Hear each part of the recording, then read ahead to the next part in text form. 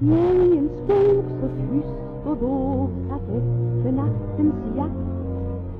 Ugglan i ett träd och sov och snarkade i takt.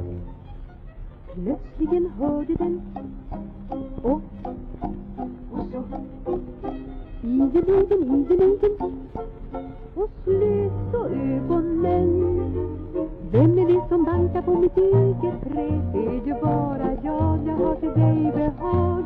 Därför har jag bankat på ditt kära träd Det är min kärleks enkla lag Ja, då är det herr Hackstedt som står och bankar i sina tankar.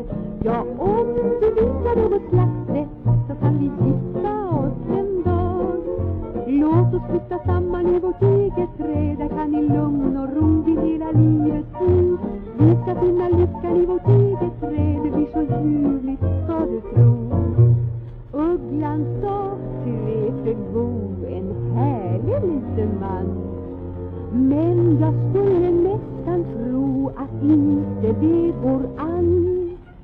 Du ska ju sköta ditt och, och så Herr Hackberg ska arbeta Och tänk på det om dagen då banka på mitt eget träd När det är nattetid vill jag ha lugn och frid Var du vill banka på mitt eget träd Har jag min egen arbetstid. Det måste du mig lova Du lille Hackberg, så ska jag sova. Så jag mycket ängslig föra, det blir ett underligt äktenskap. Du och jag ska nog ha varsitt eget träd Men om du älskar mig så måste du förstå Att